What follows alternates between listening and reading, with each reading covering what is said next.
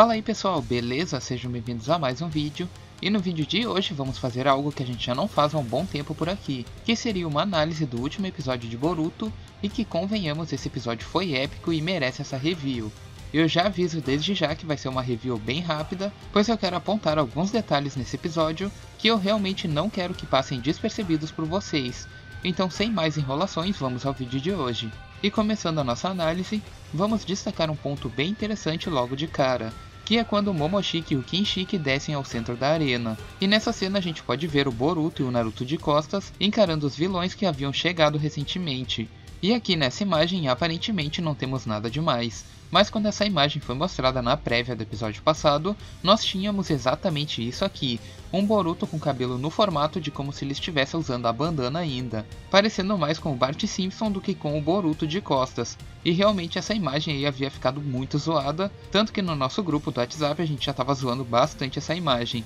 mas o lado bom de tudo isso é que podemos notar que o estúdio está realmente se preocupando bastante com a qualidade de animação dos episódios atuais, fazendo essas melhorias e modificações na animação dos episódios. Pois como vocês podem ver nessa imagem, tanto o cabelo do Boruto foi corrigido, quanto o rosto do Momoshiki que ficou um pouco mais refinado. Enfim, voltando ao episódio, eu vou fazer uma análise bem rápida, pois eu realmente não posso ficar detalhando tudo que teve nesse episódio, pois como já vimos ele foi um episódio totalmente diferente do que vimos no filme, porém mantendo a mesma estrutura do roteiro, e respeitando principalmente as cenas que foram feitas exclusivamente para o mangá. Ou seja, esses episódios estão contendo material do filme, material original do anime, como no caso do Urashiki, e também adaptando o material que nós já tínhamos no mangá, como no caso do Shinken querer enfrentar o Momoshiki.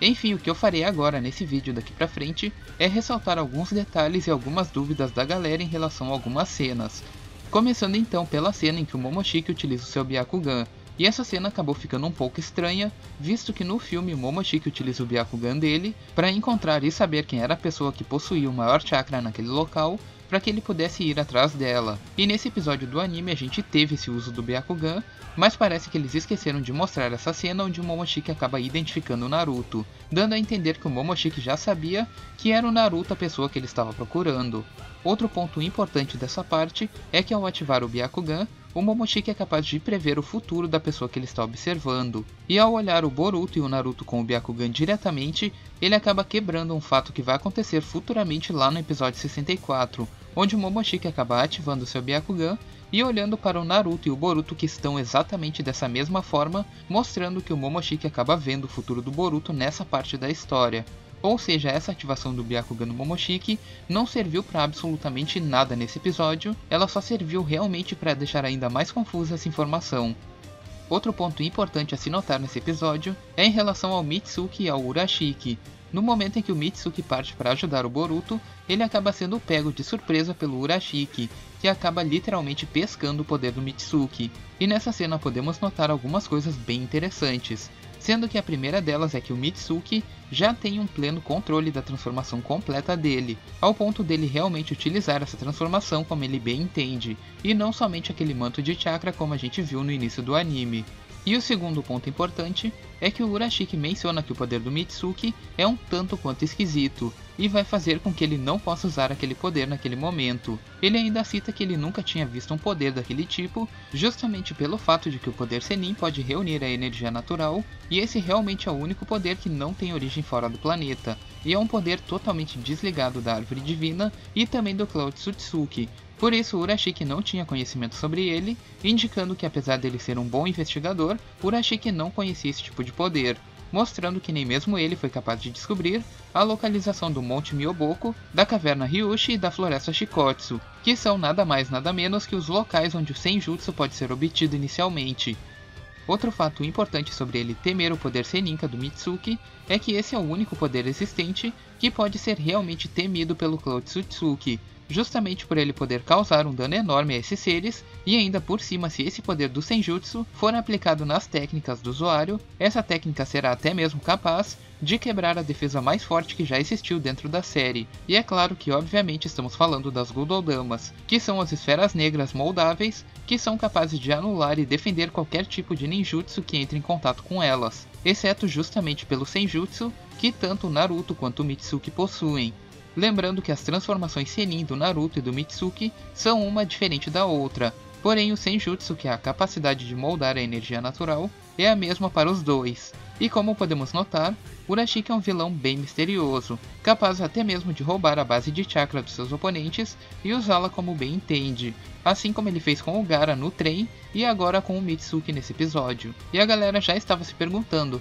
caramba, será que o Urashiki vai mesmo usar o modo Senin e não sei o que? Mas calma aí pessoal, como a gente pôde ver, o Urashiki realmente é um pescador que pesca o chakra do oponente, porém ele não aplica esse chakra em si mesmo, mas sim ele aplica esse chakra dentro da cabaça vermelha que ele usa nas costas, que é capaz de replicar as técnicas do oponente. Ou seja, o pessoal já estava teorizando que ele poderia usar o modo Seninka e que ele também tinha tido contato com o Sasuke a ponto de replicar o Rinnegan dele. Mas não, vamos com calma né pessoal, Urashiki é sim capaz de replicar essas técnicas, porém como vimos tanto a areia do Gara quanto o Raiton que ele utilizou, ambos saíram de dentro daquela cabaça, mas ainda há sim a possibilidade do Urashiki poder tentar utilizar o poder Seninka do Mitsuki nele mesmo, simplesmente retirando aquele poder da cabaça e aplicando nele mesmo. Porém isso acaba sendo um risco para ele mesmo, já que para controlar esse poder é necessário ter um bom tempo de treino. Já o Rinnegan do Sasuke ter sido replicado pelo Urashiki, por motivos dele supostamente terem lutado em algum momento da história, é realmente muito pouco provável. Porém, apesar do Rinnegan poder ser obtido ao alcançar o chakra de Hagoromo, ainda existe a primeira possibilidade de todas de despertar o Rinnegan, que é nada mais nada menos do que comer o fruto de chakra e acabar despertando esses olhos, sem depender de despertar o chakra do Hagoromo, da Kaguya e afins, ou seja, dessa forma como eu já havia citado no vídeo de teoria sobre o karma, Urashiki está agindo somente para os seus próprios propósitos, independente dele ter que trair o clã dele e tudo mais. E esse Rinnegan é a prova mais clara disso, a prova de que Urashiki também pode ter comido um fruto de chakra e ter despertado esses olhos, pois já vimos que nas costas do Momoshiki, Urashiki não está nem aí para ele. E agora sabemos que ele esconde um Rinnegan que o próprio Momoshiki também desconhece, e não, aquilo não é um Rine Sharingan como o da Kaguya, lembrando que os termos Rine Sharingan e Rinnegan Supremo são termos utilizados pelo fandom para diferenciar um Rinnegan do outro, porém todos eles são nomeados da mesma forma, sendo chamados apenas de Rinnegan. E supondo uma provável traição do Urashiki, sabemos que agora ele pode supostamente ter conseguido um poder que controle o Senjutsu, que seria nada mais nada menos do que a ferramenta mais forte para utilizar contra seu próprio clã em caso de ser descoberta alguma traição. E eu aposto que o Urashiki não terá o seu fim dentro desse arco, pois eu acredito que ele está tramando algo realmente muito grande por baixo dos panos. Já na luta do Urashiki contra os Kages, podemos notar que o Urashiki cita bastante que os Kages não trouxeram as suas melhores armas para o combate, já que o Gara estava usando uma cabaça de areia bem pequena e o Mizukage apenas uma katana comum, o que nos dá indícios de que no próximo episódio poderemos ter uma pequena aparição do Kagura, que terá que aparecer em Konoha para entregar as espadas gêmeas para o Mizukage, já que como sabemos, ele vai ter que utilizar essa espada na batalha dele contra o Kinshiki.